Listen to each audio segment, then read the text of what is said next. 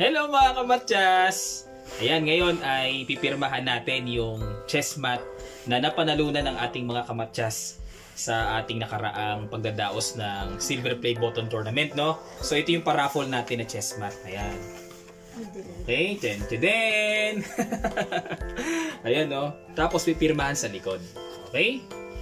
Yan. Para katunayan talaga na galing kay Coach Nava. Sige, pipirmahan na natin. Focus please. Hindi dyan dito. Yan. Okay. Pero bago yan, wala talaga maayos sa patungan. Ayun na. Ah, Permanent ba yan? tutukan mo, may gagawin kasi ako eh. Alam ko na yan, gagawin mo yan na naman. Ito yung pinaka-signature ko eh.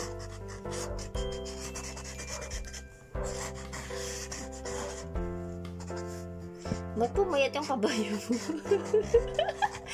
so, Yan, and saka- sabay pipirma na ako dito. Eh, di ba meron pa yan? Grabe naman. Tagal yun. Roderick Nava. Pirma. Yun. Nabilis. Nabilisan. Nabilisan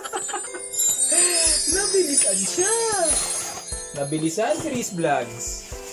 Okay, next. Ay, pyesa pala itong binuksan ko.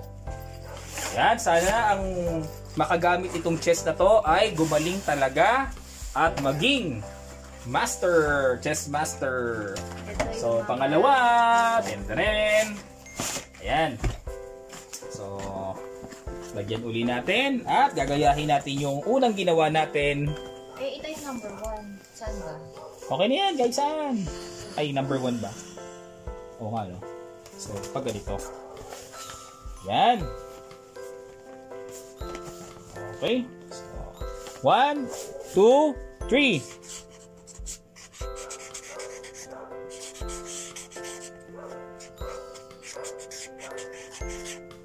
Ba't ang liit ang bishop mo sa Nike?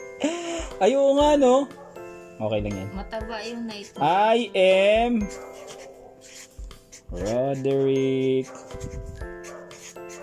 Nava.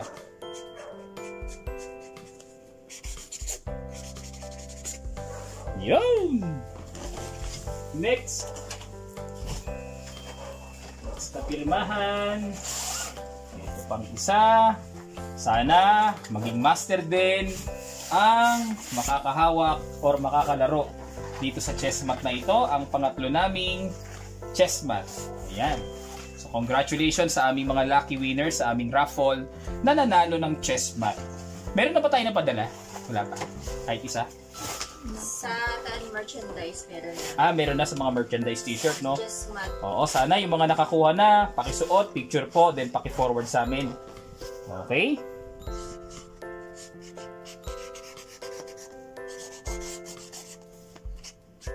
Bishop kayo mo. Sexy ng bishop mo, daddy.